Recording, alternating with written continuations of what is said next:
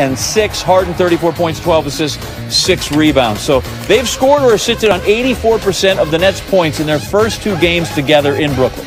208 out of 247, both victories, and they've picked it up in the fourth quarter in both wins. The pair has scored or assisted on 61 of the Nets' 69 fourth quarter points. As you'd expect, Steve Nash, good coaching, get it to your best players. Harden now in his second partnership go around with KD. We were young uh, in Oklahoma City. You know, we're, we're grown men now.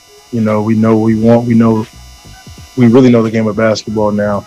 Um, you know, we're not those young guys that just run around and want to just shoot and, and, dunk all day. We know the games, we know spots, we know, you know, teams players. We just, we're more advanced.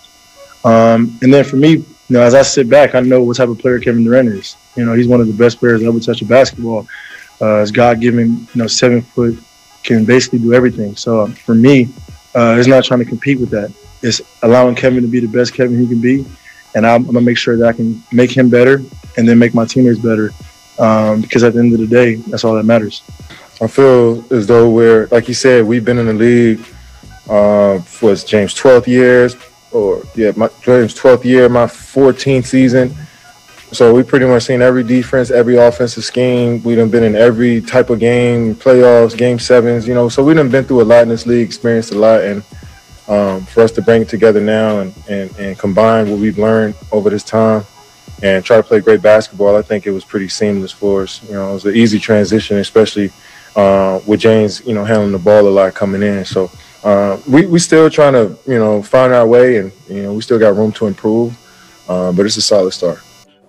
Joining us now to talk more about James Harden's debut. Listen, David, a lot of people were having fun online talking about what kind of shape he might be in. The memes were good, okay? We got to say that. The memes were really good. However, he looked just fine. He looked better than fine. He had a triple double. What were your takeaways from this contest? Well, that was the first one. The guy walked in the gym with a new team who already has stars and expectations and studs and got a triple double. He handled the ball most of the time down the stretch and made all of the big decisions. They played a two man game with he and KD. Uh, he looked comfortable. The team looked comfortable, and that was what really stood out, it looked like they had been playing together for multiple games already. And you talk about down the stretch there where he had that ball. When Kyrie Irving comes back in the mix, I mean, these guys all have to learn how to play together. But when Kyrie comes back, another ball dominant guy, how do you see that working out? I think the biggest thing is going to be time of possession. Can they just limit the dribbles a little bit? They still have to be who they are attack, you know, make plays off the dribble, break people down off the dribble, but can they shorten it one or two seconds? That really stood out to me with James tonight. You didn't see him over dance tonight. When he didn't have it, he made a play, got off of it, especially the one late where he scooped it to KD. He saw KD had Vucevic on him. KD drove it, kicked it to Brown in the corner, big trust play, and he hit the shot, knocked it down. And I think that's going to be something they have to bottle up. Well, KD and Harden combining for 74 points in this game. You add Kyrie in the mix. These guys could be going for 100. That trio on a nightly basis. It is going to be a fascinating experiment to watch, my man. Scary for other teams. Thank you, David. Thanks for having me.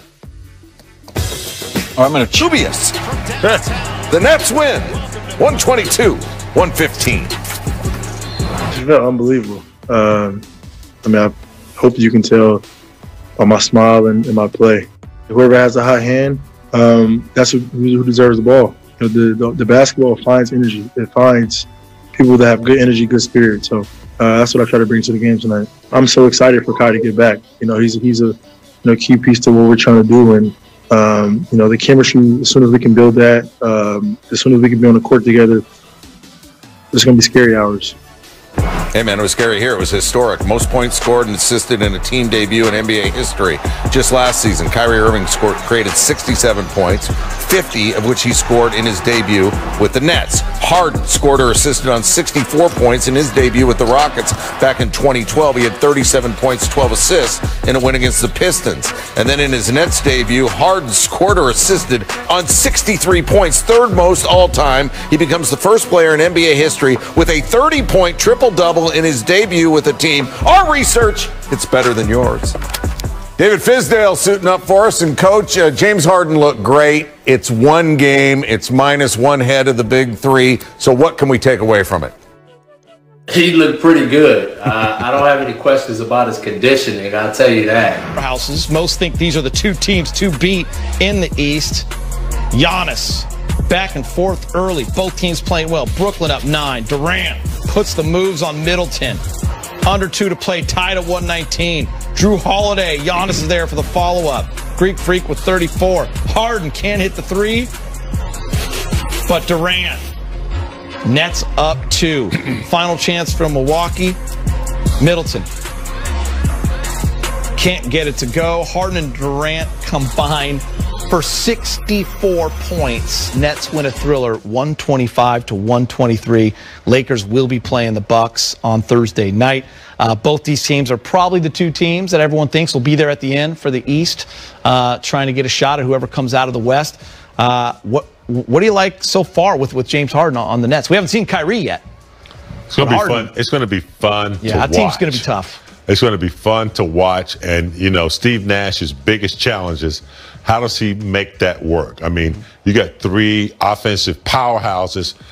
How's the defense going to work? How are the role players going to fit in there? It's still yet to be seen, but what we have seen thus far uh, without Irving, Yeah. uh, They're just problem. just Harden and KD alone, man, that's that's 60 to 70 points a game Yeah. potentially.